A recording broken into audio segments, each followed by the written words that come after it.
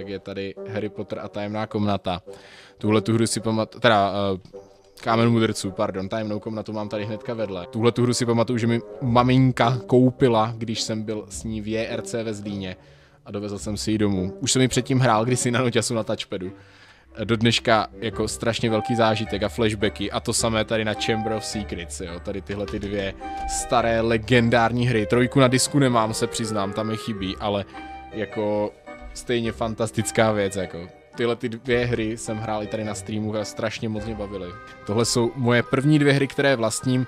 Pak trojku, čtverku nemám, ty na disku nevlastním, ale zbytek tady mám. Ty mám tady všechny, které vyšly vlastně na Xbox 360. Začneme samozřejmě tou nejnovější, dá se říct. Harry Potter a Phoenixův řád. Tahle ta hra, kterou jsme hráli tady na streamu a taky jste si mohli se mnou užít i ve formě let's playe, takže hra s českým dubbingem, nejlepší Harry Potter hra, co se týče těch doprovodných produktů k filmu, jednoznačně výborná, doporučuji všem, pokud jste nehráli a podaří si vám ji sehnat někde na PC, taky i existuje, takže výborná hra, doporučuji. Pak tady mám šestý díl, který nebyl špatný, je to samé míchání lektvaru, ale rozhodně je to jedna z lepších her podle filmu celkově. Myslím, že by vás taky mohla bavit. Není tak dobrá, jen mám tady, eh, to jsem kupoval dánský obal, ne dánský, norský, norský obal, pardon.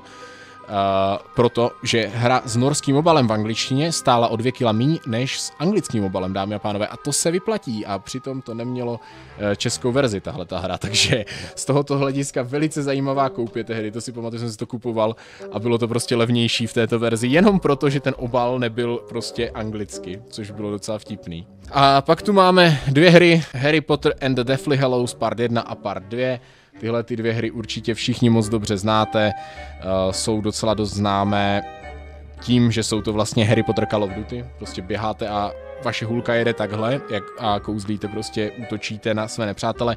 Part 2 byl o trochu lepší než part 1, je to i tím, že tady se dostanete samozřejmě do Bradavic, už se ta hra neodehrává jenom mimo ně, takže tam máte i ty lokace vaše známé, oblíbené, Uh, ty kouzla tam dávají trošku, jako musíte tam reálně občas měnit svoje kouzlo a má smysl je kombinovat, tady stačilo pořád makčkat jedno tlačítko a vyhráli jste všechny souboje. Obě dvě jsem mi kupoval čistě kvůli hraní uh, na tady tenhle channel, jestli si to dobře pamatuju, myslím, že jsem je možná hrál jednou předtím asi, možná jsem si je zahrál a pak jsem je až let's playoval, takže tyhle ty dvě hry si na tomhle kanále také můžete pustit, rozhodně ale doporučuji, když byste si kupovali nějakou hru na Xbox 360 ne, někde z bazárku, a nebo kdybyste chtěli si hru stáhnout, doporučuji spíš pětku nebo šestku, a nebo původní tři.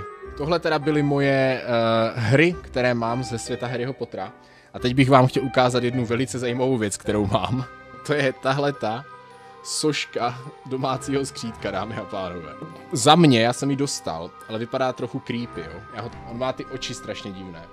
Jo, jako, ty se, ty se autorce moc nepovedly, musím říct, protože on nemá mít větší, jo. Proto vypadá trošku creepy svým způsobem, ale jinak, je, jako, jinak půjde potom ke mně do zahrádky časem, ale je to, je to teda doby, dá se říct, asi, nebo nevím, ono těch domácích skřítků v tom filmu moc není. Takže jsem dostal takovouhle docela těžkou sošku dobyho, která je, jako, to není nikde nějaká seri, jako výroba seriová, je to prostě vyrobené jako paní, co dělá prostě keramiku, předpokládám, že to je z keramiky. Jako je pěkná všechno, jenom prostě ty oči nejsou úplně podařené, jinak je to za mě fakt jako, možná kdyby se ještě usmíval aspoň víc ten skřítek, že to, ten obličej má takový smutný, tak, ale oni vlastně ti skříci takový svým způsobem mohli klidně být, takže tohle je další věc z mé Harry Potter sbírky, takže tohle je soška domácího skřítka, kterou jsem takhle dostal, takže tohle je ta asi největší, ten největší předmět, který tady mám. Dál si můžeme ukázat tuhle tu věc, která se nám tady částečně klíčuje a to jsou samozřejmě knihy Harryho Pottera. Mají docela pěknou tu krabici. Sedm let v Bradavicích. Obrázek z Harryho Pottera sedmičky samozřejmě, jak Harry, eh, Ron, Hermiona utíkají na drakovi z banky. Ze všech stran je vlastně tady tenhle ten motiv. Můžeme se na to podívat. Je to tady takhle hezky a tady vlastně vidíme každou z těch knih jakoby popsanou. Já se musím tiž přiznat, že já v tvrdém přebalu mám jenom dvě knihy a to je Harry Potter 6 a 7, ty mám někde doma v knihovničce. Je to kompletní edice je vlastně úplně nová, myslím, že z těch knih jsem se moc krát nedotknul, já totiž je znám všechny krásně z audioknih, což znamená, že, že si knihu vlastně vytahuji spíš jenom v momentech, kdy si potřebuji ověřit nějakou informaci do videa, takže si nalistuju příslušnou stranu a podívám se. Vidíte tady i tu tloušku těch knih, že první tři jsou na tom hodně podobně, čtverka je větší a pětka je jednoznačně nejdelší díl, který mám já osobně hodně rád. Šestka je, řekl bych, že šestka mu nejoblíbenější díl, pak asi jde sedmička s pětkou, pak trojka, jednička, čtverka, dvojka, bych asi řekl, že je pořadí knih, tak jak bych je já řekl o, své oblíbenosti. Možná ještě dvojka, čtverka, nevím proč z nějakého důvodu, nemám prostě ohnivý pohár moc v lásce, nikdy mi prostě nesednul, ani ve filmové, ani té knižní verzi, to není moje oblíbená kniha. Ale pochopitelně to nejsou všechny knihy, protože vlastním samozřejmě i Prokleté dítě, které jsem popravdě teďka otevřel po druhé v životě, dá se říct, protože jsem ho nikdy nečetl víc než jednou. Je to takový paskvil, který nemá moc jako lidí rádo, já vlastně taky moc ne. Ta myšlenka jako to udělat byla docela zajímavá, ale prostě ten příběh se mi moc nelíbil. Neúplně povedená věc.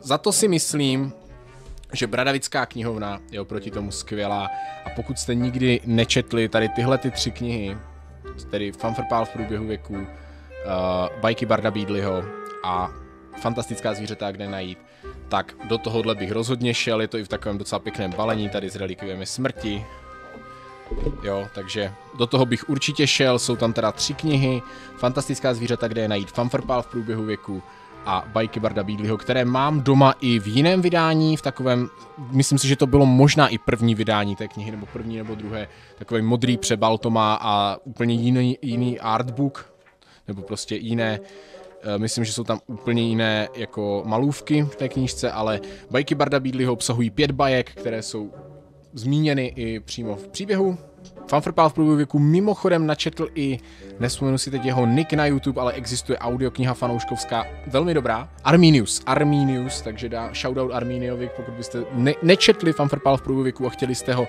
slyšet, tak můžete, Bajky Barda ho načetl uh, stejný člověk, pan Hihlík, jako načetl trojku až sedmičku. A Fantastická zvířata v této verzi není scénář, dá se ještě pořídit scénář filmu, ale tohle je prostě kniha z té magizoologie, kde prostě si počtete o konkrétních zvířatech, tady máte vždycky napsané kouzelné zvíře, Fénix, jeho klasifikaci, informace o něm a úst některých z nich i nějaký fanart, takže, nebo respektive ilustraci, takže tohle je všechno knižní, co já teda vlastním z Harryho Pottera. Je to už jenom pár, dá se říct, blbostí, které tu mám. Třeba tuhle tu věž.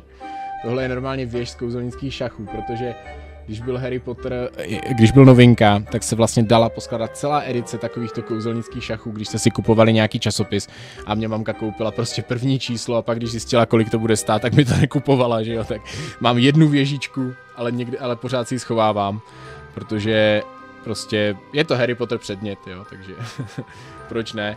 Uh, další věcí, kterou tu mám, tak je tahle ta plechová zlatonka, nebo kovová, nepovedla se mi tedy úplně složit nějak nádherně, ale jako jinak vypadá dost hezky, jo, jinak, jinak je jako pěkňunká, jinak je jako, kdyby byla složená úplně dokonale, tak je to krásná věc. Tohle jsem našel, tohle je nějaká blbost z Kinder vajíčka, ale je to, je to nějaká jako Harry Potter motiv, nebo myslím z Kinder Joy, tak jsem to tady vzal, ale to je, je to metr tuším, jo, z druhé strany tam je metr prostě, ale jaková blbost. Potom jsem dostal krásný přívěšek na klíče od přítelkyně, tady obraceč času který je fakt jako pěkný.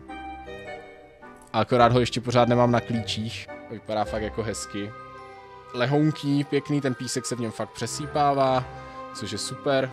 Pak je tu předmět, který jsem využíval fakt hodně, a to byla tahle ta peněženka Harryho Pottera. Jde to na ní znát, když vám to ukážu tady. Tak jde krásně vidět, jak moc se mi používal, je ošoupaná celá ale byla boží, fakt jsem si koupil prostě úplně s nadšením, hrozně se mi líbila tady ta nebelvírská. Nevím, jestli se dají ještě koupit, vím, že jsem, to, že se mě na to kdysi někdo ptal. To nebelvírská peněženka, dali, dělali se prostě v těch variantách. A hrozně se mi líbila, normálně jsem ji používal asi tři roky, ale vidíte, jak dopadla, takže ji mám strašně zničenou, ale nechal jsem si ji samozřejmě. A taky jsem si od ní nechal tuhle tu pěknou krabičku, v ní právě přišla. To je vlastně asi dá se říct všechno, co mám tady u sebe. Kromě ještě jedné věci, mám tady, vzpomeňme si na ty nepříjemné roky na covid, mám tady bradavickou roušku Harryho Pottera, tak tu jsem ještě měl.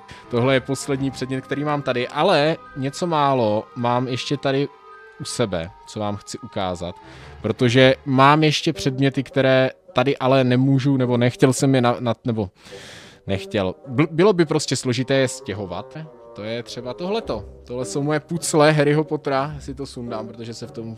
Je ti trochu malá, ano je, ona je dětská, no já jsem ji dostal, tuším, někde v nějakém balení, taky dárkovém. Tak tady je obraz Harryho Pottera, Harryho Pottera, nebo z Harryho Pottera, je to mapa, je to pucle mapa, kterou jsem skládal, tuším, že měla 15 dílků a mám ji doma na skříň, nebo nad skříní, nad skřínkou.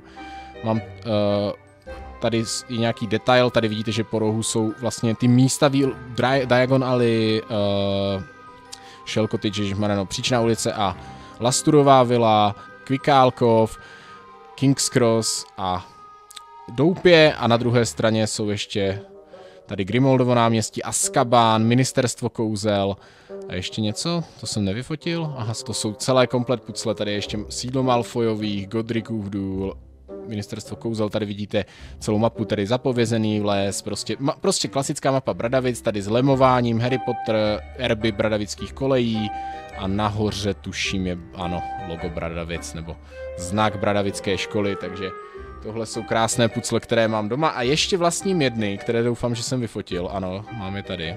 Ty se docela těžko fotily, to jsou pucle uh, Pubertova plánku, který mám také doma takhle vystavený a tady prostě, to, ty byly docela složité na postavení, protože tohle všechno, kromě toho rámu, že jo, a toho prostředku se to strašně pletlo, jo, reálně, takže jako poskládat to bylo docela, docela složité, takže tyhle pucle jsou další Harry Potter věc, kterou vlastním, ještě se můžeme podívat tady na takový detailík, tady vidíte jenom tu prostřední část, tak tak vlastně jako když by byl složený ten Pobertův plánek. Tohle je další věc a poslední věc, kterou vám tady můžu ukázat, je tenhle ten hrníček, který mám doma.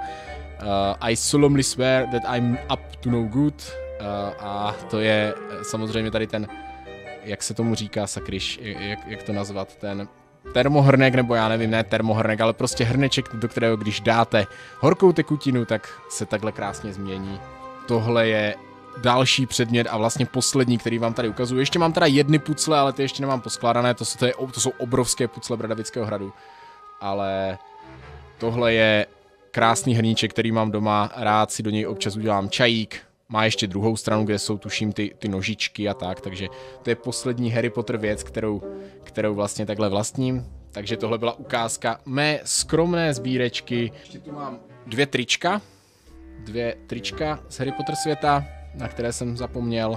Nebelvírský lev, takhle krásný, velký, pěkné tričko, které jsem kdysi dostal. A ještě tu mám druhé a to je tričko Hogwarts které teda se nám tady vyklíčuje zelenou nejspíš, že jo. To, tam z Miozela nám to tam asi neukáže. Takže tohle jsou předměty všechny, co já vlastním z Harry Potter světa. Možná nějaké časem přikoupím, ale teď je to všechno. Tohle byla tedy moje sbírečka.